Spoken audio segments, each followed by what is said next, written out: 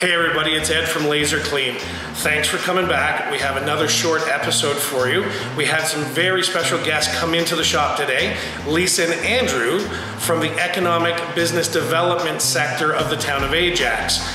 We've done some parts for them. They wanted to see the effectiveness of the laser and the versatility.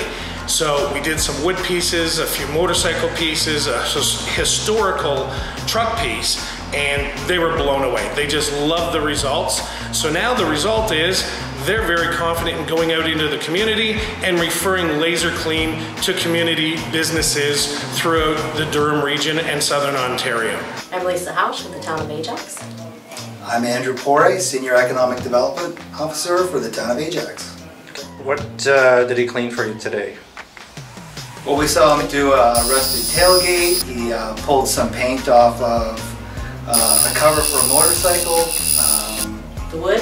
The wood, yeah, the laminate off of wood. So it really showed us how versatile this machine is and how gentle it can be and you know how rough it can be when needed, uh, but leaving clean surfaces and yeah, pretty amazing how quickly thing, how quickly it works and how it can get into different nooks and crannies. Um, yeah, really amazing stuff.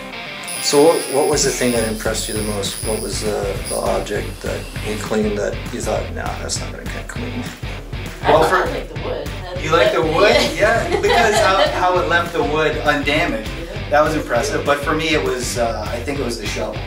Oh, I mean, that thing, the rust was so heavily caked on it, and how clean it came out, and how quickly. Yeah, that was really impressive.